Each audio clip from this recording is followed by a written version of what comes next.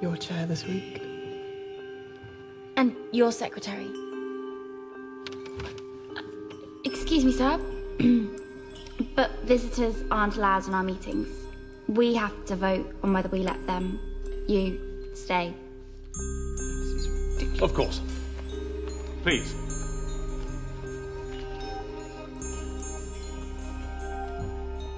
Go on, Stella.